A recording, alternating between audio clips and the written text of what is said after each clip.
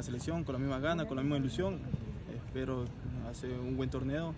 Este, estoy motivado como siempre, ¿no? Antonio, ¿qué concepto le merece el hecho de que, por ejemplo, algunos jugadores como Felipe Caicedo, que son referentes, al igual que usted, no estén en la selección?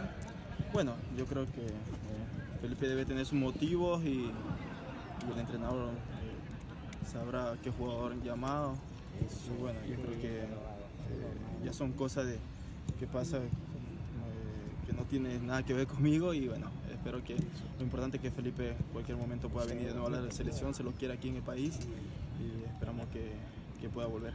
Ahora, ¿cómo has asumido estos días los homenajes, las despedidas del Manchester United, la condecoración del presidente? En lo personal, ¿cómo te sientes hoy?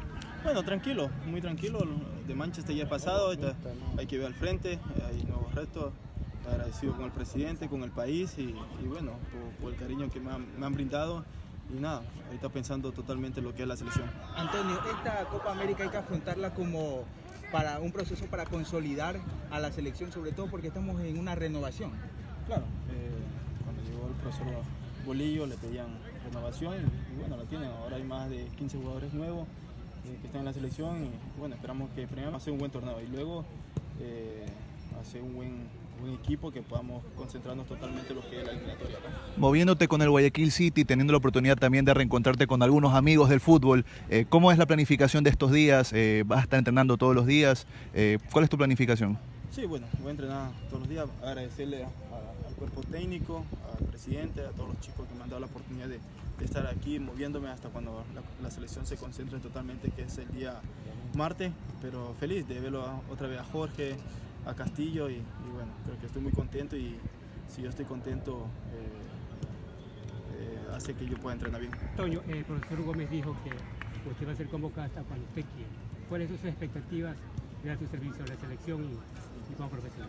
Bueno, mi servicio ah, es un compromiso con mi país, un compromiso con la juventud, como lo dije, de, de hacer las cosas bien, de llevar un buen mensaje y bueno, eh, creo que la palabra la tiene el entrenador hasta cuando él me vea bien físicamente y que yo pueda estar en la selección. Entre otras cosas que dijo Hernán Darío Gómez, dijo que la posición que le adecua mejor en la selección Antonio Valencia es de volante. Pero vamos a la fuente. ¿Dónde se siente más? ¿Dónde cree usted que puede aportar más a la selección?